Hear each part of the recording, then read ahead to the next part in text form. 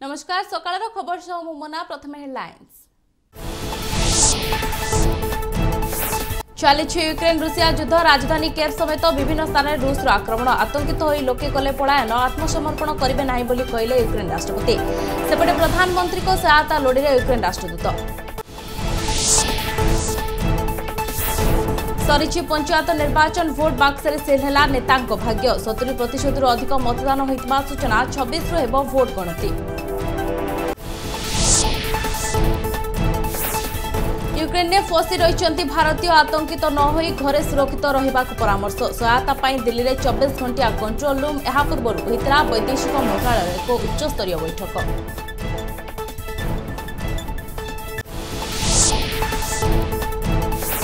ମାଡ଼ି ଆସୁଛି ପଶ୍ଚିମା ଝଡ଼ ଆସନ୍ତା ପଚିଶରୁ ସତେଇଶ ଯାଏଁ ରହିଛି ବର୍ଷାର ସମ୍ଭାବନା। ଆଞ୍ଚଳିକ ପାଣିପାଗ ବିଭାଗ କରିଛି ପୂର୍ବାନୁମାନ ଅନ୍ୟପଟେ ଉପକୂଳ ଅଞ୍ଚଳରେ ଜାରି ରହିଛି କୁହୁଡ଼ି।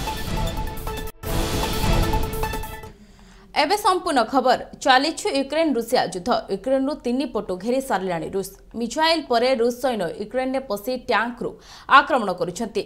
ମିସାଇଲ୍ ମାଡ଼ରେ ରୁଷ ଅଧିକୃତ ସେଲିଂରେ ୟୁକ୍ରେନ୍ର ସାତ ଜଣ ପ୍ରାଣ ହରାଇଥିବା ବେଳେ ନଅ ଜଣ ଗୁରୁତର ହୋଇଛନ୍ତି। ରୁଷୀୟ ସେନା ୟୁକ୍ରେନ୍ର ପୂର୍ବ ପ୍ରାନ୍ତର ଅନେକ ଗ୍ରାମକୁ ନିଜ ଅକ୍ତିଆରକୁ ନେଇଛି। ରୁଷ ୟୁକ୍ରେନ୍ ଯୁଦ୍ଧ ଭିତରେ ଭାରତର ସହାୟତା ଲୋଡ଼ିଲେ ୟୁକ୍ରେନ୍। ପ୍ରଧାନମନ୍ତ୍ରୀ ମୋଦିଙ୍କୁ ଭେଟିବା ସହ ଏହି ମାମଲାରେ ହସ୍ତକ୍ଷେପ କରିବାକୁ ଅନୁରୋଧ କରିଛନ୍ତି ଭାରତରେ ଅବସ୍ଥାପିତ ୟୁକ୍ରେନ୍ ରାଷ୍ଟ୍ରଦୂତ। ଭାରତ ଓ ରୁଷର ସମ୍ପର୍କ ଅତି ଭଲ ତେଣୁ ଏହି ବିବାଦକୁ ନିୟନ୍ତ୍ରଣ କରିବାରେ ଭାରତ ଗୁରୁତ୍ୱପୂର୍ଣ୍ଣ ଭୂମିକା ନେଇପାରେ। ତେଣୁ ଭାରତର ପ୍ରଧାନମନ୍ତ୍ରୀ ତୁରନ୍ତ ରୁଷ ରାଷ୍ଟ୍ରପତି ଓ ୟୁକ୍ରେନ୍ ରାଷ୍ଟ୍ରପତିଙ୍କ ସହ ଆଲୋଚନା କରିବାକୁ ଅନୁରୋଧ କରିଛନ୍ତି ୟୁକ୍ରେନ୍ ରାଷ୍ଟ୍ରଦୂତ। ନୂଆଦିଲ୍ଲୀସ୍ଥିତ ୟୁକ୍ରେନ୍ ଦୂତାବାସ ପକ୍ଷରୁ ଭାରତର ସହାୟତା ଲୋଡ଼ାଯାଇଛି। ଗୁରୁବାର ସରିଛି ପଞ୍ଚାୟତର ମହାପର୍ବ। ପଚିଶଟି ଜିଲ୍ଲାର ଅଠଚାଳିଶଟି ବ୍ଲକରେ ଶହ ଏକତିରିଶ ଜିଲ୍ଲା ପରିଷଦ ଜୋନ୍ରେ ନଅଶହ ପଞ୍ଚସ୍ତରୀଟି ପଞ୍ଚାୟତରେ ମତଦାନ ହୋଇଛି। ପଞ୍ଚମ ପର୍ଯ୍ୟାୟରେ ପ୍ରତିଦ୍ୱନ୍ଦିତା କରୁଥିବା ପାଞ୍ଚଶହ କୋଡ଼ିଏ ଜଣ ଜିଲ୍ଲା ପରିଷଦ ପ୍ରାର୍ଥୀଙ୍କ ଭାଗ୍ୟ ନିର୍ଦ୍ଧାରଣ କରିଛନ୍ତି। ପଞ୍ଚମ ତଥା ଅନ୍ତିମ ପର୍ଯ୍ୟାୟରେ ମୋଟାମୋଟି ସତୁରି ପ୍ରତିଶତ ମତଦାନ ହୋଇଛି ବୋଲି ରାଜ୍ୟ ନିର୍ବାଚନ କମିଶନଙ୍କ ପକ୍ଷରୁ ସୂଚନା ଦିଆଯାଇଛି। ଏଥରକ ପ୍ରଥମ ଥର ଲାଗି ମାଲକାନଗିରି ଓ ମାୟ ଅଧ୍ୟୁଷିତ ସ୍ୱାଭିମାନ ଅଞ୍ଚଳରେ ମଧ୍ୟ ଶାନ୍ତି ଶୃଙ୍ଖଳାର ସହିତ ଶେଷ ହୋଇଛି ମତଦାନ ଏବଂ ଛବିଶରୁ ହେବ ଭୋଟ ଗଣତି। ୟୁକ୍ରେନ୍ ଉପରେ ଆକ୍ରମଣ ଆରମ୍ଭ କରିଦେଇଛି ଶକ୍ତିଶାଳୀ ରୁଷ। ରୁଷର ଦୁଇଟି ବିଦ୍ରୋହ ଅଞ୍ଚଳକୁ ନିଜ ଅକ୍ତିଆରକୁ ନେଇ ସାରିଥିବା ନେଇ ସୂଚନା ଦେଇଛନ୍ତି ରୁଷ ରାଷ୍ଟ୍ରପତି ଭ୍ଲାଦିମିର ପୁଟିନ୍ ୟୁକ୍ରେନ୍ ଉପରେ ସଙ୍କଟ ମାଡ଼ି ଆସିଥିବା ବେଳେ ସେଠାରେ ଫସି ରହିଥିବା ଭାରତୀୟମାନଙ୍କୁ ଫେରାଇବାକୁ ଫେରାଇ ଆଣିବାକୁ ଲଗାତାର ପ୍ରୟାସ ଚଳାଇଛି ଭାରତ। ଏହାକୁ ନେଇ ଦିଲ୍ଲୀରେ ବୈଦେଶିକ ମନ୍ତ୍ରଣାଳୟ ଏକ ଉଚ୍ଚସ୍ତରୀୟ ବୈଠକ କରିଛନ୍ତି। ଏହା ସହିତ ୟୁକ୍ରେନ୍ ରୁଷ ସଙ୍କଟ ନେଇ ଭାରତରେ କଣ୍ଟ୍ରୋଲ ରୁମ୍ ଗଠନ ହୋଇଛି। ୟୁକ୍ରେନ୍ ରାଜଧାନୀ କିଭ୍ରେ ବିମାନ ଚଳାଚଳ ବନ୍ଦ ପରେ ସେଠାରେ ଫସି ରହିଥିବା ଭାରତୀୟଙ୍କୁ ବାହାର କରିବା ପାଇଁ ବିକଳ୍ପ ରାସ୍ତା ଖୋଜା ଜାରି ରହିଛି। ଆଜି ୟୁକ୍ରେନ୍ ଦୀର୍ଘ ଦିନ ଧରି ସଙ୍କଟ ବାଦଲ ଘେରି ରହିଥିବା ବେଳେ ଏହି ଦେଶରୁ ଭାରତୀୟଙ୍କୁ ଫେରାଇ ଆଣିବାକୁ ଉଦ୍ୟମ ଆରମ୍ଭ କରିଥିଲା। ଏୟାର ଇଣ୍ଡିଆ ବିମାନ ୟୁକ୍ରେନ୍ରୁ ଦୁଇଥର ଭାରତୀୟଙ୍କୁ ଆଣିବାରେ ସଫଳ ରହିଥିବା ବେଳେ ବାକି ଫସି ରହିଥିବା ଭାରତୀୟଙ୍କୁ ଫେରାଇ ଆଣିବାକୁ ଉଦ୍ୟମ ଜାରି ରହିଛି। ୟୁକ୍ରେନ୍ରେ ଫସି ରହିଥିବା ଭାରତୀୟଙ୍କ ସୁରକ୍ଷା ପାଇଁ ଲଗାତାର ସେଠାରେ ଥିବା ଭାରତୀୟ ଦୂତାବାସ ସହ ଯୋଗାଯୋଗରେ ରହିଛନ୍ତି। ରାଜନୈତିକ ହିଂସାକାଣ୍ଡ ପାଞ୍ଚ ଗୁରୁତର। ନିର୍ବାଚନ ପଞ୍ଚମ ପର୍ଯ୍ୟାୟରେ ଦେଖାଦେଇଛି ବାଙ୍କି କଳାପଥର ଓ ଲାମ୍ବେରୀ ଅଞ୍ଚଳରେ ରାଜନୈତିକ ହିଂସାକାଣ୍ଡ। ଏବେ ଶାସକ ବିଜେଡି ଓ କଂଗ୍ରେସ କର୍ମୀ ମୁହାଁମୁହିଁ ହୋଇ ଘଟଣାରେ ପାଞ୍ଚ ଜଣ କଂଗ୍ରେସ କର୍ମୀ ଗୁରୁତର ହୋଇଛନ୍ତି।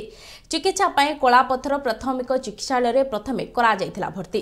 ଅବସ୍ଥା ସଙ୍କଟାପନ୍ନ ହେବା ନେଇ ତିନି ଜଣଙ୍କୁ କଟକ ଏସ୍ସିବିକୁ କରାଯାଇଛି ସ୍ଥାନାନ୍ତରିତ। ଘଟଣାସ୍ଥଳରେ ଚାପା ଉତ୍ତେଜନା ଲାଗି ରହିଥିଲା ଗୁରୁତରମାନେ ହେଉଛନ୍ତି କଳାପଥର ଅଞ୍ଚଳର କଂଗ୍ରେସ ଦଳର ଏଜେଣ୍ଟ ଶିବ ସୁନ୍ଦର ସାହୁ ଜ୍ଞାନରଞ୍ଜନ ମହାରଣା ହୋଇଥିବା ବେଳେ ଲାମ୍ବେରୀ ଅଞ୍ଚଳର ତିନି ଜଣ ଆହତଙ୍କ ପରିଚୟ ମିଳିପାରିନାହିଁ ଆଜ୍ଞା ଆଜି ଭୋଟ ଇଲେକ୍ସନ୍ ହେଲା ମୁଁ ବି ଏଜେଣ୍ଟ ଥିଲି। ଏଜେଣ୍ଟ ସରିଲା ପରେ ମୋତେ କହିଲେ କ'ଣ ବି ଭିତରେ ବଇଛୁ? ମୁଁ କହିଲି ମୁଁ ଏଜେଣ୍ଟ ଅଛି ସିଲ୍ ହେଲା ପରେ ମୁଁ ବାହାରିବି। ନା ତୁ ପଶିପାରିବୁନି ଭିତରେ ପଶିବୁନି। ଆ ସହିତ ଦେଖିଦେବୁ। ମୁଁ ଜଷ୍ଟ ସିଲ୍ ସରିଲା ସିଲ୍ ସରିଲା ପରେ ଜଷ୍ଟ ଗେଟ୍ ବାହାରକୁ ବାହାରିକି ପଚାଶ ମିନିଟ୍ ମୋତେ ଯାଇଛି। ମୋତେ କହିଲେ ଏଇ ଏଇ ହେଉଛି ଭୋଟ ସମସ୍ତଙ୍କୁ ମାଇନସ୍ କରିଛି। ଏଟାକୁ ହାଣ ବାଡ଼ ମାର କର। ମୁଁ ପଚାଶ ମିନିଟ୍ ଗଲା ପରେ ମୋତେ ଆସିକି ସୁ- ଇଏ ପିଟନ ଆଉ ଆସି ଟାଙ୍ଗିଆରେ ହାଣିଲା। ଆଉ ଇଏ ସୁବା ଗୋଟେ ଫାର୍ସା ଧରିକି ମୋତେ ଏଇଠି ପକେଇଛି। ଆଉ ପୁପୁ ବୋଲି ଗୋଟେ ଇଏ ଅଛି ସେ କହିଲା ରିଭଲଭର ଆଣି କଲା ତାକୁ ସୁଟ୍ କରିଦେଇ ଏଇଠି ମାରିଦେବା ସଫା ହେଇଯିବ ଏଠି। ଆଉ କେହି ରହିବେନି। ଏତିକି କଲା ପରେ ମୋର ବ୍ଲଡ଼ ବାହାରିଲା ସେ ସାହି ଲୋକ କ'ଣ ହେଲା କ'ଣ ନାହିଁ, ଆଉ ପୁଣି କେତେ ଜଣ ଥିଲେ ମୁଁ ଜାଣିପାରିଲିନି ଆଉ ଦୁଇ ଚାରି ଜଣ ଥିଲେ। ନା ମୋ ମୁଣ୍ଡ ଝୁମି ହେଉଛି ଜଣା ପଡ଼ୁନି କିଛି ଆଉ ଖାଲି ଉପୁଛି ଲାଗୁଛି ମୋତେ ଖାଲି। ଆସିକା ବ୍ଲକରେ ସୁରୁଖୁରୁରେ ସରିଲା ମତଦାନ। ମତ ସାବ୍ୟସ୍ତ କଲେ ଆସିକା ସାଂସଦ ପ୍ରମିଳା ବିଷୋଇ। ପଞ୍ଚାୟତ ନିର୍ବାଚନ ପଞ୍ଚମ ତଥା ଅନ୍ତିମ ପର୍ଯ୍ୟାୟ ମତଦାନ ଶାନ୍ତିପୂର୍ଣ୍ଣ ଭାବେ ସମାପ୍ତ ହୋଇଛି। ବୃଦ୍ଧ ମହିଳା ଓ ଯୁବ ଭୋଟର ଧାଡ଼ିରେ ରହି ନିଜ ମତଦାନ ସାବ୍ୟସ୍ତ କରିଛନ୍ତି। ଆସିକା ସାଂସଦ ପ୍ରମିଳା ବିଷୋଇ ମଧ୍ୟ ଚେରମାରିଆରେ ହୋଇଥିବା ପନ୍ଦର ନମ୍ବର ବୁଥରେ ନିଜର ମତଦାନ ସାବ୍ୟସ୍ତ କରିଛନ୍ତି। ଆସିକା ବ୍ଲକର ସତେଇଶଟି ପଞ୍ଚାୟତର ଚାରିଶହ ଦୁଇଟି ବୁଥରେ ହୋଇଥିଲା ମତଦାନ। ବୁଥଗୁଡ଼ିକ ମଧ୍ୟରୁ ପଇଁତିରିଶଟି ବୁଥକୁ ପ୍ରଶାସନ ପକ୍ଷରୁ ଅତି ସମ୍ବେଦନଶୀଳ ଚଉଦ ବୁଥକୁ ସମ୍ବେଦନଶୀଳ ବୁଥ୍। ଚିହ୍ନଟ କରାଯାଇ ସ୍ୱତନ୍ତ୍ର ବ୍ୟବସ୍ଥା ଗ୍ରହଣ କରାଯାଇଥିଲା ଅନ୍ୟପଟେ ଗଞ୍ଜାମ ଜିଲ୍ଲାପାଳ ବିଜୟ ଅମୃତ କୁଲାଙ୍ଗେ ବ୍ଲକର ବିଭିନ୍ନ ସମ୍ବେଦନଶୀଳ ବୁଥଗୁଡ଼ିକ ପରିଦର୍ଶନ କରିଥିଲେ। କିରଣ ଭୂୟାଙ୍କୁ କିଶୋର ପ୍ରଧାନଙ୍କୁ ଠିଆ କରିଛି ମୋର ପଞ୍ଚାୟତରେ। ତାଙ୍କୁ ଭୋଟ ଦେଇ ଜୟଯୁକ୍ତ କରିବା ପାଇଁ ପ୍ରଥମରେ ମୁଁ ଆସି ଭୋଟ ଦେଲି। ପ୍ରଥମରେ ଭୋଟ ଦେଇ ଆମର ସମସ୍ତେ ଖୁସି ମୋର ପଞ୍ଚାୟତ ଖୁସି। ମୋର ପାଞ୍ଚ ବର୍ଷ ଯାଇ କେମିତି ଉନ୍ନତିରେ ଚାଲିବ ମୋ ପଞ୍ଚାୟତ ସବୁ କ୍ଷେତ୍ରରେ କେମିତି ଭଲ ମଙ୍ଗଳ ହେବ ବୋଲି ଜଗନ୍ନାଥଙ୍କୁ ଧ୍ୟାନ କରୁଛି। ଦେଖନ୍ତୁ ସବୁ ଜାଗାରେ ମାନ୍ୟବର ନବୀନ ପଟ୍ଟନାୟକ ମୁଖ୍ୟମନ୍ତ୍ରୀଙ୍କ ବିକାଶ ଧାରାକୁ ନେଇକରି ଲୋକ ଅ, ସଚେତନ ଅଛନ୍ତି। ଯେଉଁ ବିକାଶ ଧାରା ନବୀନ ପଟ୍ଟନାୟକ କରିଛନ୍ତି ତାକୁ ଲୋକ ଗ୍ରହଣ କରିନେଇଛନ୍ତି। ତେଣୁ ଏଇଠି ଶଙ୍ଖ ଚିହ୍ନ ହିଁ ବିଜୟ ହେବ। ମୁଁ ବହୁତ ଖୁସି ଅଛି କାହିଁକିନା ଏଇଟା ମୋର ସେକେଣ୍ଡ ଟାଇମ୍ ହେଉଛି। ତ ମୁଁ ଜାଣିବାକୁ ଚାହୁଁଛି ମୁଁ ଦେବାକୁ ଚାହୁଁଛି ଯେ ଏମିତି ଅଛି ଆମ ପଞ୍ଚାୟତର ଉନ୍ନତି କରିପାରିବ ଯେ ଆମ ପଞ୍ଚାୟତକୁ ଆଗକୁ ନେଇପାରିବ ଭଲ କାମ କରିପାରିବ। ମୁଁ ତାକୁ ହିଁ ଭୋଟ୍ ଦେବି ତାକୁ ହିଁ ବାଛିପାରିବି। ଯାଜପୁର ଜିଲ୍ଲା ରସୁଲପୁର ବ୍ଲକରେ ଶାନ୍ତିପୂର୍ଣ୍ଣ ଭାବେ ସରିଛି ପଞ୍ଚମ ପର୍ଯ୍ୟାୟ ମତଦାନ। କିଛି ସ୍ଥାନରେ ଛୋଟମୋଟ ବିଶୃଙ୍ଖଳା ଦେଖାଦେଇଥିଲେ ମଧ୍ୟ ପୋଲିସ ପ୍ରଶାସନ ସହଯୋଗରେ ସବୁ ସ୍ଥାନରେ ନିର୍ବାଚନ ଶେଷ ହୋଇଛି। ଉତ୍ତେଜନା ପ୍ରବଣ ବୁଥମାନଙ୍କରେ ବ୍ୟାପକ ପୋଲିସ ବ୍ୟବସ୍ଥା ହୋଇଥିବା ବେଳେ ବହୁ ସଂଖ୍ୟାରେ ଭୋଟରମାନେ ମତଦାନ କରିଥିବା ଦେଖିବାକୁ ମିଳିଥିଲା। ଯାହାକୁ ନେଇ ଜିଲ୍ଲା ପ୍ରଶାସନକୁ କୃତଜ୍ଞତା ଜ୍ଞାପନ କରିଛନ୍ତି ସ୍ଥାନୀୟ ବୁଦ୍ଧିଜୀବୀ। ଅନ୍ୟପଟେ ଯାଜପୁର ବିଞ୍ଝାରପୁରରେ ସାମ୍ବାଦିକଙ୍କୁ ହୋଇଥିବା ଆକ୍ରମଣକୁ ଦୃଢ଼ ନିନ୍ଦା କରିଛନ୍ତି ପଞ୍ଚାୟତବାସୀ।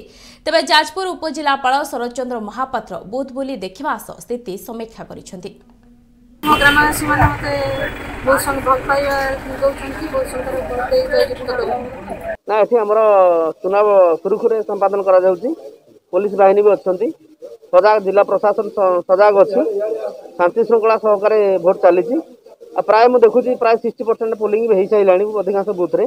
ଏଠି ଆମର ଆଠଟା ବୁଥ ଏଠି ପଡ଼ିଛି ରାଉତରାପୁର ଆଠଟା ଉମ୍, ବୁଥ ଏଠି ପଡ଼ିଛି ତେଣୁ ତେଣୁ ସେଥିପାଇଁ କ୍ରାଉଡେଡ଼ ଟିକେ ବେଶୀ ଅଛି ତେଣୁ ମୁଁ ଆପଣଙ୍କ ଜରିଆରେ ଲୋକମାନଙ୍କୁ ପବ୍ଲିକ ମାନଙ୍କୁ ଅପିଲ କରିବାକୁ ଚାହିଁବି ଯେଉଁମାନେ ଭୋଟ ଦେଇ ସାରିଲେଣି ତୁରନ୍ତ ମାନେ ଗେଟ୍ ବାହାରକୁ ପଳେଇଲେ ଆମର କ୍ରାଉଡଟା କମିଯିବ ଯାହାଫଳରେ ଆମର ଗୋଟେ ପରେ ଯେତେବେଳେ ଇଲେକ୍ସନ ସରିବ ଆମେ ସେଟା ଠିକ୍ ଭାବରେ ସିଲ୍ ବକ୍ସ କରି ମାନେ ସିଲ୍ କି ବକ୍ସ କରି ବକ୍ସକୁ ସିଲ୍ କରି ଆମେ ଠିକ୍ ଭାବରେ ଆମର ପାର୍ଟିମାନଙ୍କୁ ଆମେ ଏଠୁ ଅ, ନେଇକି ରିସିଭିଂ ସେଣ୍ଟରରେ ପହଞ୍ଚାଇ ପାରିବୁ।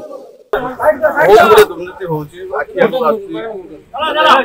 ଏକ ଏକ ଛତ୍ରବାଦ ଶାସନ ଯେମିତି ଚାଲେ ପାରିବାରିକ ରାଜନୀତି ସେମିତି ଚାଲିଛି। ଆଉ ମୋ ଇଚ୍ଛା ଯେ ଲୋକଙ୍କୁ ସେବା କରିବା ପାଇଁ ସେଇ ସେବାର ଆସ- ଇଏ ନେଇ ମୁଁ ଆଗକୁ ଆସିଛି ଆଉ। ପଞ୍ଚାୟତ ବର୍ତ୍ତମାନ ପନ୍ଦର ବର୍ଷ ଉନ୍ନତିରେ ପନ୍ଦର ବର୍ଷ ତଳକୁ ଚାଲିଲାଣି। ତେଣୁ ଏଇ ଯୁବ ଭାଇମାନେ ମା ଭଉଣୀମାନଙ୍କ ଆଶା ଆକାଂକ୍ଷା ନୂତନ ଯୁବପିଢ଼ିକି ଆମେ ପଞ୍ଚାୟତର ଭାର ଦାୟିତ୍ୱ ଦେବୁ ଯାଜପୁର ଦାନଗଦି ବ୍ଲକ ମାନତିରା ଗାଁରେ ନିର୍ବାଚନୀ ହିଂସା ଦୁଇ ଆହତ ମାନତିରା ଗ୍ରାମରେ ମଙ୍ଗଳବାର ମତଦାନ ସରିଥିବା ବେଳେ ବୁଧବାର ଦେଖାଦେଇଛି ନିର୍ବାଚନୀ ହିଂସା। ଗାଁର ଉଭୟ ଗୋଷ୍ଠୀ ମଧ୍ୟରେ ଗଣ୍ଡଗୋଳ ହୋଇ ଦୁଇ ଜଣ ଆହତ ହୋଇଥିବା ଜଣାପଡ଼ିଛି। ଆହତମାନେ ମେଡିକାଲରେ ହେଉଛନ୍ତି ଚିକିତ୍ସିତ। ଏନେଇ ଉଭୟ ପକ୍ଷ ଜଖପୁରା ଥାନାରେ ଅଭିଯୋଗ କରିଥିବା ଜଣାପଡ଼ିଛି। ତେବେ ଘଟଣାକୁ ନେଇ ଉଭୟ ପକ୍ଷ ଉଭୟଙ୍କୁ ଦୋଷ ଦେଉଥିବା ଦେଖିବାକୁ ମିଳିଥିଲା। ତେବେ ଥାନାରେ ଅଭିଯୋଗ ପରେ ବି ପୋଲିସ କୌଣସି କାର୍ଯ୍ୟାନୁଷ୍ଠାନ ନ ନେବାରୁ ଥାନା ଘେରାଉ କରିଥିଲେ ଗ୍ରାମବାସୀ। ଏହାପରେ ପୋଲିସ ଉତ୍ତ୍ୟକ୍ତ ଲୋକଙ୍କୁ ବୁଝାସୁଝା କରିବା ସହ ଥାନାରୁ ଫେରାଇ ଦେଇଥିଲେ। ଆଜି ମୁଁ ଯେତେବେଳେ ମୁଁ ଗାଡ଼ିରେ ଯାଉଥିଲି ଆମ ଝିଅକୁ ଟ୍ୟୁସନ୍ ଛାଡ଼ିବାକୁ ଯାଉଥିଲି ଦେଖିଲି ଯେ ରଞ୍ଜନ ଘଡ଼େଇ ଜଣେ ପରିବାର ଘରେ ପଶିକି ସ୍ତ୍ରୀ ଲୋକ ମାରାମାରି କରୁଥିଲା। ରଞ୍ଜନ ଘଡ଼େଇ ଆଉ ତା ଭାଇ ଚନ୍ଦନ ଘଡ଼େଇ। ଆଉ ନନ୍ଦନ ଜେନା। ତାଙ୍କ ସ୍କର୍ପିଓ ଗାଡ଼ିରେ ଆସିଥିଲେ ଡବଲ୍ ଜିରୋ ଏଇଟ୍ ଫୋର୍ ଗାଡ଼ିରେ ଆସିଥିଲେ। ଆଉ ଗାଡ଼ି ଭିତରେ ବହୁତ ପ୍ରକାର ସବୁ ଅସ୍ତ୍ର ଶସ୍ତ୍ର ସବୁ ରଖା ହେଇଥିଲା ଖଣ୍ଡା ଫଣ୍ଡା ଠେଙ୍ଗା ଫେଙ୍ଗା ସବୁ କିଛି ରଖା ହେଇଥିଲା। ଘରେ ପଶିକି ଦି ଦିଟା ସ୍ତ୍ରୀ ଲୋକ ସେ ଘୋଷାରି ଘୋଷାରି ମାରୁଥିଲା ଯେହେତୁ ମୁଁ ଦେଖିବାରେ ଗାଡ଼ି ଅଟକେଇ ସେଠି ପଚରା ବୁଝାଇ ଅଟକାଇବାରୁ ସେ ମୋ ଉପରେ ବି ଆକ୍ରମଣ କରିଥିଲେ। କିଛି ନିର୍ଦ୍ଦିଷ୍ଟ ବ୍ୟକ୍ତିଙ୍କ ଖଣ୍ଡା ତରୁଆଲ ଧରିକି ବର୍ତ୍ତମାନ କେବେ ବି ଏସବୁ ଘଟିନଥିଲା? ଆଜି ପ୍ରଥମ ଥର ଆଜି ଏମିତି ଘଟଣା ଘଟିଛି ଯେ ଖଣ୍ଡା ତରୁଆଲ ଧରିକି ଆମର ଏକ ଛୋଟ ବାଳକ ଯାହାକୁ ଚଉଦ ପନ୍ଦର ବର୍ଷ ହେଇଛି ତାକୁ ମଧ୍ୟ ଆଜି ଆଟାକ୍ କରିକି ଆଘାତ କରିଛନ୍ତି। ଆ ପଛରେ କାରଣ ହେଉଛି ସିଏ ରାଜନୀତି ଆକ୍ରୋଶ ରଖିକି ଏଇ ଧନ୍ଦା କରୁଛି ଆଉ। ବରୀ ବ୍ଲକରେ ଶେଷ ହୋଇଛି ପଞ୍ଚମ ପର୍ଯ୍ୟାୟ ମତଦାନ। ବାଲାଟ ବକ୍ସରେ ସିଲ୍ ହୋଇଛି ପ୍ରାର୍ଥୀଙ୍କ ଭାଗ୍ୟ। ଗୁରୁବାର ପଞ୍ଚମ ପର୍ଯ୍ୟାୟରେ ବରୀ ବ୍ଲକରେ ଅଣତିରିଶଟି ପଞ୍ଚାୟତର ତିନିଶହ ଅଶୀଟି ବୁଥରେ ମତଦାନ ଶେଷ ହୋଇଛି। ପୂର୍ବରୁ ଯାଜପୁରରେ ହୋଇଥିବା ନିର୍ବାଚନୀ ହିଂସାକୁ ଦୃଷ୍ଟିରେ ରଖି ପ୍ରଶାସନ ପକ୍ଷରୁ କଡ଼ା ସୁରକ୍ଷା ବ୍ୟବସ୍ଥା କରାଯାଇଥିଲା। ବୁଥମାନଙ୍କରେ ହୋଇଥିବା ସୁରକ୍ଷା ବ୍ୟବସ୍ଥାର ସମୀକ୍ଷା କରିବା ପାଇଁ ବରୀ ଗସ୍ତ କରିଥିଲେ ଯାଜପୁର ଜିଲ୍ଲାପାଳ। ତେବେ ବୁଥମାନଙ୍କରେ ଆଇନ ଶୃଙ୍ଖଳାକୁ ଦୃଷ୍ଟିରେ ରଖି ବ୍ୟାପକ ପୋଲିସ ମୁତୟନ କରାଯାଇଥିଲା। ବହୁତ ଇଲେକ୍ସନ୍ ବହୁତ ମୁଁ ଜାଣିବା ଭିତରେ ବହୁତ ପିସଫୁଲି ହେଇଛି ଏଠି। ଯେହେତୁ ଏଇଟା ବାଇପୋଲାର ଫାଇଟିଂ ନୁହଁ ଆଧିରେ ମଲ୍ଟିପୁଲ କ୍ୟାଣ୍ଡିଡେଟ୍ ଅଛନ୍ତି ଚାରି ଚାରି ଜଣ ପ୍ରାର୍ଥୀଙ୍କ ମଧ୍ୟରେ ଲଢ଼େଇ। ତ ଏଠି କୌଣସି ପ୍ରକାରରେ ବୁଥ୍ ଭିତରେ ସେମିତି କିଛି ଗଣ୍ଡଗୋଳ କି ସେମିତି କିଛି ଆ, ଯୋଉଟା ଆବନର୍ମାଲସି ଦେଖିବାକୁ ମିଳିନି ଆଉ ବାହାରେ ମଧ୍ୟ ଲୋକମାନେ ବହୁତ ଶାନ୍ତି ଶୃଙ୍ଖଳା ବଜାୟ ରଖିଛନ୍ତି ଏପର୍ଯ୍ୟନ୍ତ। ପ୍ରଶାସନ ଠିକ୍ଠାକ୍ ସହଯୋଗ ହୋଇଥିଲା ଏବେ ବି ପ୍ରଶାସନ ଏଇଠି ଅଛନ୍ତି। ସବୁ ଆମର ଏ ଯେଉଁ ଇଲେକ୍ଟ୍ରୋନିକ୍ସ ମିଡ଼ିଆ ଭାଇମାନେ ଆପଣମାନେ ଯେଉଁ ଧନ୍ୟବାଦ ଦେଉଛି ଏଠି ଆସିକି ଆପଣ ବହୁତ ସମୟ ଦେଇଛନ୍ତି ସକାଳ ସାତଟାରୁ ବର୍ତ୍ତମାନ ପର୍ଯ୍ୟନ୍ତ ଆପଣମାନେ ଅଛନ୍ତି ବହୁତ ଖୁସିରେ ଆସି ଭୋଟ ଦେଇ ମତଦାନ କରି ଯାଉଛନ୍ତି ତେଣୁକରି କୌଣସି ବିଶୃଙ୍ଖଳା ଆମେ କରେଇ ଦେଇନୁ ନାଇଁ ଆମର ଯେଉଁ ଅଛି ଲାଷ୍ଟ ଫେଜ୍ରେ ଆମର ବରି ଆଉ ରସୁଲପୁରରେ ଏବେ ସୁଟିଂ ଚାଲୁଛି ବର୍ତ୍ତମାନ ସବୁ ପିସଫୁଲ୍ ଅଛି ଯଦି ପୋଷ୍ଟ ଜିଲ୍ଲାରେ ନିଖୁଣ ସାଇଡ଼୍ ଆ ସାଙ୍ଗରେ ଆପଣ ଦେଖିବେ ପ୍ରାୟ ଚାଳିଶଟା ପେଟ୍ରୋଲ ପାର୍ଟି ଆମର ଅଛି ଆ ସାଙ୍ଗରେ ସେକ୍ଟର ୱାଇଜ୍ ଆମ ଗୁଡ଼ାଏ ସେକ୍ଟର ଷ୍ଟେଟ୍ ଅଛି ମିଷ୍ଟର ନିଆଳି ବ୍ଲକ କପାସୀ ସମବାୟ ସମିତିରେ ମହାଦୁର୍ନୀତି। ସେକ୍ରେଟେରୀଙ୍କ ମନମାନିରେ ଚାଲିଛି କପାସୀ ସେବା ସମବାୟ ସମିତି। କଟକ ଜିଲ୍ଲା ନିଆଳି ବ୍ଲକ କପାସୀ ସେବା ସମବାୟ ସମିତିରେ ଚାଷୀଙ୍କ ନାମ ପଞ୍ଜୀକୃତ ତାଲିକାରେ ଥାଇ ମଧ୍ୟ ଚାଷୀ ଧାନ ବିକ୍ରୟ କରିପାରୁନାହାନ୍ତି। ସମବାୟ ସମିତିରେ ପଞ୍ଜୀକୃତ କରିଥିବା ଚାଷୀଙ୍କ ମଧ୍ୟରୁ ପ୍ରାୟତଃ ସତୁରି ଭାଗ ଚାଷୀ ବର୍ତ୍ତମାନ ସୁଦ୍ଧା ଧାନ ବିକ୍ରିକୁ ନେଇ ଚିନ୍ତାରେ ରହିଛନ୍ତି। ଚାଷୀ ନିଜର ଧାନ ବିକ୍ରୟର ସଠିକ୍ ତାରିଖ ସେକ୍ରେଟେରୀଙ୍କୁ ପଚାରିବାରୁ ସେ ଧାନ କିଣା ହେବ କି ନ ହେବ ଠିକ୍ ଭାବେ କହିପାରୁନାହାନ୍ତି। ବର୍ତ୍ତମାନ ସୁଦ୍ଧା ପ୍ରାୟ କୋଡ଼ିଏ ଭାଗ ଚାଷୀଙ୍କର ଧାନ କିଣା ଯାଇଥିବା ବେଳେ ଅଶୀ ଭାଗ ଲୋକ ଧାନ ବିକ୍ରିକୁ ନେଇ ଚିନ୍ତାରେ ଅଛନ୍ତି। ବେପାରୀଙ୍କ ଠାରୁ ଧାନ କିଣା ଯାଉଥିବା ବେଳେ ପଞ୍ଜୀକୃତ ଚାଷୀଙ୍କ ଠାରୁ କାହିଁକି କିଣା ଯାଉନାହିଁ ବୋଲି ଚାଷୀ ଅଭିଯୋଗ କରିଛନ୍ତି। କପାସୀ ସେବା ସମବାୟ ସମିତିରେ ଧାନ ବିକା କିଣାକୁ ନେଇ ବିପୁଳ ମାତ୍ରାରେ ଦୁର୍ନୀତି ହେଉଥିବା ଚାଷୀ ଅଭିଯୋଗ କରିଛନ୍ତି। ବେପାରୀଙ୍କର କୌଣସି ପଞ୍ଜୀକୃତ ତଥ୍ୟ ନଥାଇ ମଧ୍ୟ ସେମାନେ କିଭଳି ଭାବରେ ଶହ ଶହ ବସ୍ତା ଧାନ ବିକ୍ରି କରୁଛନ୍ତି ତାହା ଏବେ ଚର୍ଚ୍ଚାର ବିଷୟ ପାଲଟିଛି। ତେବେ ତୁରନ୍ତ ଉଚ୍ଚ କର୍ତ୍ତୃପକ୍ଷ ଘଟଣାର ତଦନ୍ତ କରି ସେକ୍ରେଟାରୀ ସୌମେନ୍ଦ୍ର ଲେଙ୍କାଙ୍କ ଉପରେ କାର୍ଯ୍ୟାନୁଷ୍ଠାନ ଗ୍ରହଣ କରିବା ପାଇଁ ସାଧାରଣରେ ଦାବି ଜୋର ଧରିଛି। ତାଳପଦରରେ ରାଜନୈତିକ ହିଂସା। ଶେଷ ପର୍ଯ୍ୟାୟ ମତଦାନ ବେଳେ ବାଲେଶ୍ୱର ରେମୁଣା ବ୍ଲକ ତାଳପଦରେ ଚାରି ନମ୍ବର ବୁଥରେ ଜଣେ ମହିଳାଙ୍କ ଭୋଟର ତାଲିକାରେ ନାମ ଥିବା ସତ୍ତ୍ୱେ ପୋଲିଂ ଏଜେଣ୍ଟ ତାଙ୍କୁ ଭୋଟ ଦେବାକୁ ଦେଇନଥିଲେ ଯାହାକୁ ନେଇ ଆରମ୍ଭ ହୋଇଥିଲା ବିବାଦ। ବିଜେଡି ଓ ବିଜେପି କର୍ମୀଙ୍କ ମଧ୍ୟରେ ଖଣ୍ଡଯୁଦ୍ଧ ହୋଇଥିଲା। ବିଜେଡି କର୍ମୀ ବୁଥ୍ ଡୋର୍ ବନ୍ଦ କରିବାକୁ କେନ୍ଦ୍ର କରି ବିଜେପି କର୍ମୀ ବିରୋଧ କରିବାରୁ ବିଜେଡି କର୍ମୀମାନେ ବିଜେପି କର୍ମୀକୁ ଅତର୍କିତ ଆକ୍ରମଣ କରିଥିଲେ। ଏହି ଗଣ୍ଡଗୋଳ ଦୀର୍ଘ ସମୟ ଧରି ଚାଲିଥିବା ବେଳେ ପୋଲିସ ସେମାନଙ୍କୁ ଘୋଡ଼ାଇବାରେ ବିଫଳ ହୋଇଥିଲା। ଅନ୍ୟପଟେ ଗଣ୍ଡଗୋଳ ପରେ ମହିଳା ଜଣକ ଭୋଟ ଦେବାରୁ ବଞ୍ଚିତ ହୋଇଛନ୍ତି। ଦୀର୍ଘ ସମୟ ପରେ ମାଜିଷ୍ଟ୍ରେଟ ଭାବେ ନୀଳଗିରି ତହସିଲଦାର ଏବଂ ପୋଲିସ ଫୋର୍ସ ପହଞ୍ଚି ସୁରକ୍ଷିତ ଭାବେ ଭୋଟ ବାକ୍ସ ଏବଂ ପୋଲିଂ ଅଧିକାରୀଙ୍କୁ ଉଦ୍ଧାର କରି ଷ୍ଟ୍ରଙ୍ଗ ରୁମ୍କୁ ନେଇଥିବା ଜଣାପଡ଼ିଥିଲା। ଅଭିନବ ଉପାୟରେ ଚାଲିଥିଲା ଗଞ୍ଜେଇ ଚାଲାଣ। ଗାଡ଼ିରେ ସିକ୍ରେଟ୍ ଚାମ୍ବର କରି ଚାଲାଣ ହେଉଥିଲା ଗଞ୍ଜେଇ। କିନ୍ତୁ ଅବକାରୀ ଫ୍ଲାଇଂ ସ୍କ୍ୱାଡ୍ ତୀକ୍ଷ୍ଣ ଦୃଷ୍ଟିରୁ ମୁକୁଳି ପାରିଲା ନାହିଁ ଚାଲାଣକାରୀ। କଟକର ମଙ୍ଗୁଳି ଛକ ନିକଟରେ ଗଞ୍ଜେଇ ବୋଝେଇ ଗାଡ଼ି ସହ ଦୁଇ ଜଣଙ୍କୁ ଗିରଫ କଲା ଅବକାରୀ ଫ୍ଲାଇଂ ସ୍କ୍ୱାଡ୍। ଜଣେ ନୟାଗଡ଼ରୁ ଅନ୍ୟ ଜଣେ ଗଞ୍ଜାମର ବୋଲି ଜଣାପଡ଼ିଛି। ଫୁଲବାଣୀରୁ ପଶ୍ଚିମବଙ୍ଗ ଚାଲାଣ ହେଉଥିଲା ଗଞ୍ଜେଇ। ସୁନ୍ଦରଗଡ଼ ଜିଲ୍ଲାର ସଦର ଟାଙ୍ଗରପାଲି ଓ ଗୁରୁଣ୍ଡିଆ ବ୍ଲକରେ ଶେଷ ହୋଇଛି ପଞ୍ଚାୟତ ନିର୍ବାଚନ ପଞ୍ଚମ ତଥା ଅନ୍ତିମ ପର୍ଯ୍ୟାୟ ମତଦାନ। ଭୋଟଦାନ ସମୟରେ ଜିଲ୍ଲାରେ କୌଣସି ଅପ୍ରୀତିକର ପରିସ୍ଥିତି ଘଟିନଥିବା ଜଣାପଡ଼ିଛି। ଜିଲ୍ଲାର ସଦର ଟାଙ୍ଗରପାଲି ଓ ଗୁରୁଣ୍ଡିଆ ବ୍ଲକ ପାଇଁ ଭୋଟରମାନେ ତାଙ୍କର ମତଦାନ ସାବ୍ୟସ୍ତ କରିଛନ୍ତି। ଏଥର ନିର୍ବାଚନରେ ଭୋଟରମାନେ ଦଳ ନୁହେଁ ବ୍ୟକ୍ତିତ୍ୱ ଓ ପ୍ରାର୍ଥୀଙ୍କୁ ଦେଖି ତାଙ୍କର ମତ ସାବ୍ୟସ୍ତ କରିଛନ୍ତି। କେତେକ ପ୍ରାର୍ଥୀ ଓ ପ୍ରାର୍ଥିନୀ ମଧ୍ୟ ସେମାନଙ୍କ ଭୋଟରଙ୍କ ଉପରେ ପ୍ରଗାଢ଼ ଆସ୍ଥା ରଖିଛନ୍ତି। ଏହି ନିର୍ବାଚନରେ ଉପୁଜିଥିବା ବିଶୃଙ୍ଖଳାକୁ ଜିଲ୍ଲା ପ୍ରଶାସନ ଓ ପୋଲିସ ଦୃଢ଼ତାର ସହ ମୁକାବିଲା କରିଥିବାରୁ ସାଧାରଣ ଭୋଟରମାନେ ଖୁସି ଥିବା ଜଣାପଡ଼ିଛି। ତେବେ ଆଜି ସଦର ବ୍ଲକରେ ଅଶୀ ଦଶମିକ ଏକ ଚାରି ପ୍ରତିଶତ ଟାଙ୍ଗପାଲି ବ୍ଲକରେ ଅଣାଅଶୀ ଦଶମିକ ପାଞ୍ଚ ସାତ ପ୍ରତିଶତ ଓ ଗୁରୁଣ୍ଡିଆ ବ୍ଲକରେ ଚଉସ୍ତରୀ ଦଶମିକ ଏକ ସାତ ପ୍ରତିଶତ ମତଦାନ ହୋଇଥିବା ଜଣାପଡ଼ିଛି ମୁଁ ଭାରତୀୟ ଜନତା ପାର୍ଟି ତରଫରୁ ଟାଙ୍ଗରପାଲି କରୁ ଜିଲ୍ଲା ପରିଷଦ ପ୍ରାର୍ଥିନୀ ଭାବେ ଛିଡ଼ା ହେଇଛି ମୁଁ ତ ଏବେ ପର୍ଯ୍ୟନ୍ତ ଚାରିଟା ଖଣ୍ଡେ ବୁଥ୍ ବୁଲିଲିଣି ପା- ପାଖାପାଖି। ଆଉ ଲୋକଙ୍କର ସମର୍ଥନ ଅଛି। ଆଉ ମୋତେ ଯାହା ଲାଗୁଛି ଲୋକେ ମୋତେ ଗ୍ରହଣ କରୁଛନ୍ତି। ବଢ଼ିଆ ଅଛି। ସବୁ ସୁବିଧା ବଢ଼ିଆ କରିଛନ୍ତି ସରକାର। ଆଉ ମୋତେ ଯାହା ଆସି ଆଶା ଲାଗୁଛି ପଦ୍ମ ଫୁଲ ଆଗକୁ ଯିବ। ରାସ୍ତା କଡ଼ରୁ ମିଳିଲା ଯୁବକଙ୍କ ହାତ ଗୋଡ଼ ବନ୍ଧା ମୃତଦେହ। ଗଜପତି ଜିଲ୍ଲା ଚନ୍ଦ୍ରଗିରି ଫାଣ୍ଡି ଜଗନ୍ନାଥପୁର ଛକ ନିକଟରେ ଏହି ମୃତଦେହ ଦେଖିବାକୁ ମିଳିଥିଲା। ରାସ୍ତା ପାର୍ଶ୍ୱରେ ଏକ ଗଛ ମୂଳରେ ଅଜଣା ଯୁବକର ମୃତଦେହ ପଡ଼ିଥିବାର ସ୍ଥାନୀୟ ଲୋକେ ଦେଖିବାକୁ ପାଇଥିଲେ। ତେବେ ମୃତଦେହଟି ହାତ ଗୋଡ଼ ବନ୍ଧା ଥିବାରୁ ସାଧାରଣରେ ଅନେକ ପ୍ରଶ୍ନ ସୃଷ୍ଟି ହୋଇଛି। ପାରିପାର୍ଶ୍ୱିକ ପରିସ୍ଥିତିରୁ ଦେଖି ଲାଗୁଛି ଯେ ଯୁବକକୁ କିଛି ଦୁର୍ବୃତ୍ତ ଆକ୍ରମଣ କରିବା ସହ ହାତ ଗୋଡ଼ ବାନ୍ଧି ଦେଇ ହତ୍ୟା କରିଥିବା ସନ୍ଦେହ କରାଯାଉଛି। ଖବର ପାଇ ପୋଲିସ ଘଟଣାସ୍ଥଳରେ ପହଞ୍ଚି ତଦନ୍ତ ଆରମ୍ଭ କରିଛି। ତେବେ ଯୁବକକୁ କିଏ ଓ କାହିଁକି ଏମିତି ନିର୍ମମ ଭାବେ ହତ୍ୟା କଲା ତାହା ତଦନ୍ତ ପରେ ଜଣାପଡ଼ିବ। ଏବେ ସମୟ ହେଇଛି ଏକ ବ୍ରେକ୍ର ବ୍ରେକ୍ ପରେ ଖବର ଜାରି ରହିବ।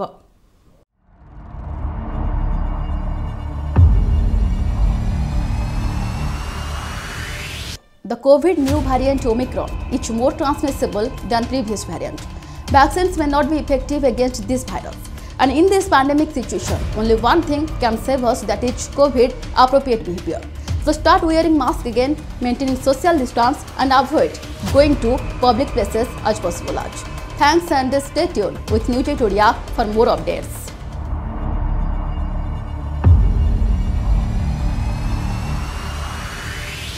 Break ପରେ ସ୍ୱାଗତ। ପାମରା ଅଞ୍ଚଳରେ ସର୍ଭର ସମସ୍ୟା କାରଣରୁ ପିଡିଏସ୍ ସାମଗ୍ରୀ ବଣ୍ଟନରେ ସମସ୍ୟା। ବିଡିଓଙ୍କ ନିକଟରେ ଅଭିଯୋଗ କଲେ ହିତାଧିକାରୀ। ବାମରା ବ୍ଲକ ଗୋବିନ୍ଦପୁରଠାରେ ପିଡିଏସ୍ ସାମଗ୍ରୀ ବଣ୍ଟନରେ ଆଧାର ସର୍ଭର ସମସ୍ୟା କାରଣରୁ ରାସନ ସାମଗ୍ରୀ ବଣ୍ଟନରେ ସମସ୍ୟା ଦେଖାଦେଇଥିଲା। ଗୋବିନ୍ଦପୁର ପିଡିଏସ୍ କେନ୍ଦ୍ରରେ ସକାଳୁ ପିଡିଏସ୍ ସାମଗ୍ରୀ ବଣ୍ଟନ ହେଉଥିବା ବେଳେ ଲୋକଙ୍କ ପ୍ରବଳ ଭିଡ଼ ପରିଲକ୍ଷିତ ହୋଇଥିଲା। ମାତ୍ର ଆଧାର ସର୍ଭର ଡାଉନ୍ ଥିବା କାରଣରୁ ପିଡିଏସ୍ ମେସିନ୍ରେ ସାମଗ୍ରୀ ବଣ୍ଟନ ସମ୍ଭବ ହୋଇନଥିଲା। ଏପରି ବାରମ୍ବାର ହେଉଥିବାରୁ ଏନେଇ ରାସନ କାର୍ଡ ହିତାଧିକାରୀଙ୍କ ମଧ୍ୟରେ ଅସନ୍ତୋଷ ଦେଖାଦେଇଥିଲା। ସକାଳୁ ଲୋକେ ଆସି ଅପେକ୍ଷା କରି ଫେରୁଛନ୍ତି। ଏହାକୁ ନେଇ ହିତାଧିକାରୀମାନେ ବାମରା ବିଡିଓଙ୍କ ନିକଟରେ ଅଭିଯୋଗ କରିଥିଲେ। ବୁଲେଟିନ୍ ଶେଷରେ ପୁଣି ଥରେ ହେଡଲାଇନ୍ସ। চালিছে ইউক্রেন রুষিয়া যুদ্ধ রাজধানী কেভ সমেত বিভিন্ন স্থানে রুষর আক্রমণ আতঙ্কিত হয়ে লোকে কলে পলায়ন আত্মসমর্পণ করবে না বলে কহিলেন ইউক্রেন রাষ্ট্রপতি সেপটে প্রধানমন্ত্রী সহায়তা লোড়িলে ইউক্রেন রাষ্ট্রদূত সরিছে পঞ্চায়েত নির্বাচন ভোট বাক্সরে সেল হেলা নেতা ভাগ্য সতুরি প্রতিশতর অধিক মতদান হয়েছে সূচনা ছবিশ হব ভোট গণতি ୟୁକ୍ରେନ୍ରେ ଫସି ରହିଛନ୍ତି ଭାରତୀୟ ଆତଙ୍କିତ ନ ହୋଇ ଘରେ ସୁରକ୍ଷିତ ରହିବାକୁ ପରାମର୍ଶ। ସହାୟତା ପାଇଁ ଦିଲ୍ଲୀରେ ଚବିଶ ଘଣ୍ଟିଆ କଣ୍ଟ୍ରୋଲ ରୁମ୍ ଏହା ପୂର୍ବରୁ ହୋଇଥିଲା ବୈଦେଶିକ ମନ୍ତ୍ରଣାଳୟର ଏକ ଉଚ୍ଚସ୍ତରୀୟ ବୈଠକ।